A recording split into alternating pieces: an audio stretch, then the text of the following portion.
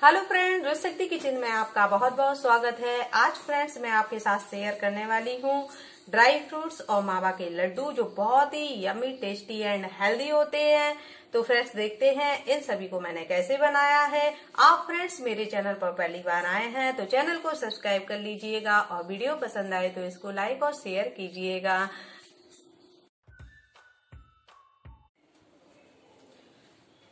तो इन लड्डुओं को बनाने के लिए फ्रेंड्स मैंने यहाँ पर आधा किलो चीनी ली है और आधा किलो मावा लिया है, जिसको मैंने घर पर ही बनाया है। चार से पाँच इलायची ली है, जिनको मैंने कूट लिया है। आठ दस पीस मैंने बादाम के लिए, जिसको मैंने बारीक बारीक काट लिया है। पंद्रह से सोलह पीस मैंने पिस्ते के लिए, थोड़ी सी मैंने किशमिश ली है। दस पीस मैंने काजू के लिए हैं, जिनको मैंने बारीक बारीक काट लिया है। थोड़ा सा मैंने नारियल लिया है, जिसको मैंने कद्दूकस कर लिया है, और थोड़ा सा मैंने गोंद लिया है, और आधी कटोरी देसी घी लिया है। चलिए तो फिर लड्डुओं को बनाना शुरू करते हैं। अब मैंने एक कढ़ाई ले ली है। अब मैं इसमें देसी घी डालूँगी। अब इसको गरम कर लेना है। तो अब घी गरम हो चुका है। तो अब मैं इसमें गोंद डाल दूँगी। गोंद को दो बार में भूनेंगे।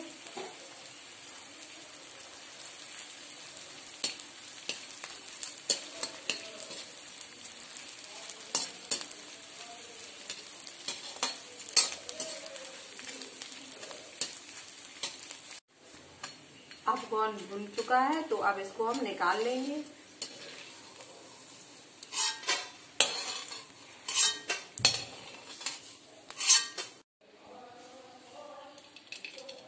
अब मैं बादाम भून लूँगी। गैस की फ्लेम को स्लो ही रखना है। स्लो फ्लेम पे ही सारे ड्राई फ्रूट्स को हमें भूनना है। इन्हें बहुत ज़्यादा नहीं भूनेंगे हल्का हल्का ही भूनना है। अब मैंने इसमें काजू डाल दिए हैं। इनको भी फ्राई कर लेंगे।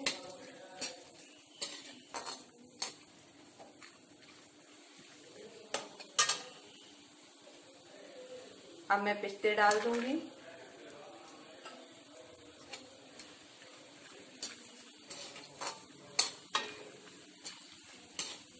मेवा को भूनकर यूज़ करने से इसका स्वाद बहुत ज़्यादा बढ़ जाता है।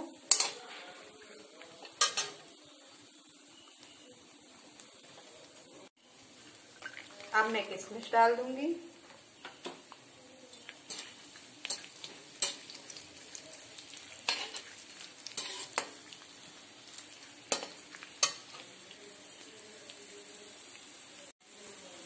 अब नारियल के बुरादे को भी भून लेंगे।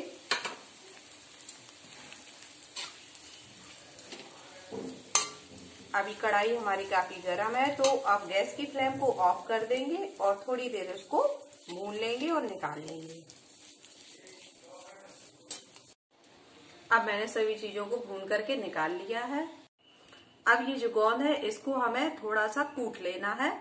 या इस तरीके से हाथों से मिसल लेंगे तो भी ये मसल जाएगा आराम से। क्योंकि ये बहुत अच्छे से भुना है, अंदर तक भुना है। अब वापस से वही कढ़ाई लेंगे और अब मावे को भून लेंगे।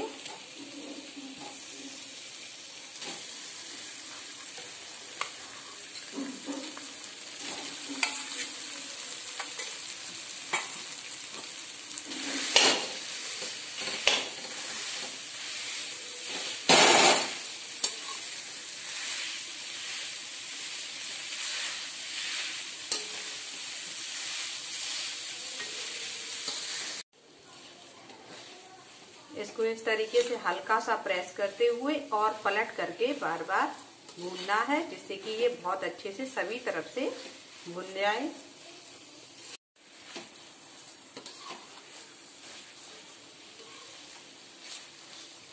मावा को भूनने से लड्डुओं का स्वाद जो होता है, बहुत ही बेहतरीन आता है।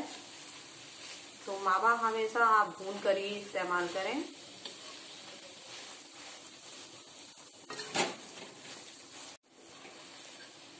तो अब मावे का रंग हल्का हल्का गुलाबी हो गया है। तो इसका मतलब है मावा अच्छे से भुन चुका है। तो अब गैस की फ्लेम को हमें ऑफ़ कर देना है और मावे को थोड़ा सा ठंडा करेंगे और कढ़ाई से इसको निकाल लेंगे।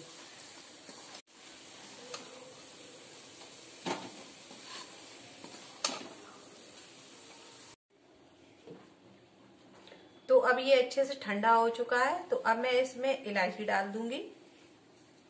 जिनको मैंने दरदरा कूट लिया है, अब इन सभी को अच्छे से मिक्स कर देंगे।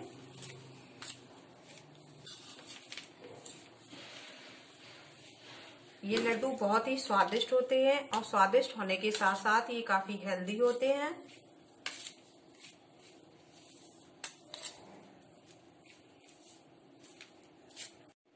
अब ये अच्छे से मिक्स हो चुका है।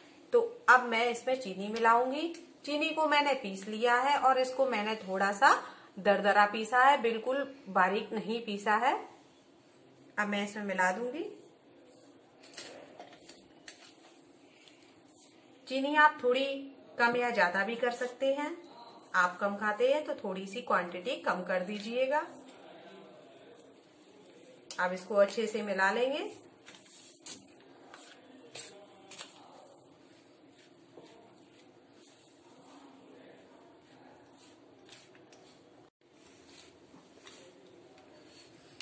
अब इसमें चीनी अच्छे से मिक्स हो चुकी है।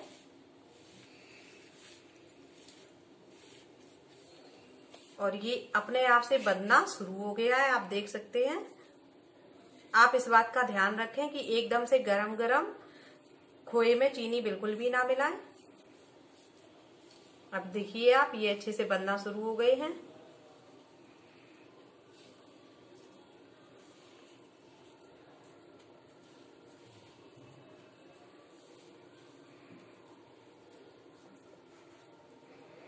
लड्डू आप बड़े या छोटे अपने हिसाब से कर सकते हैं। कितना बढ़िया लड्डू बनकर के तैयार हुआ है। इसी तरीके से मैं सारे लड्डू बना लूँगी।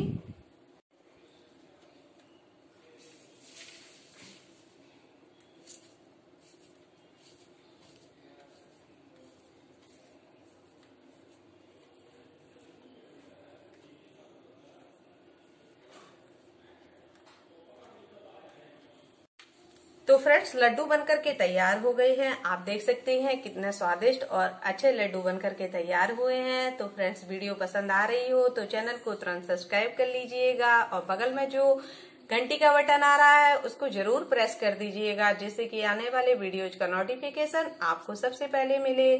तो मिलते हैं नए वीडियो में नई रेसिपी के साथ। तब तक के लिए बाय बाय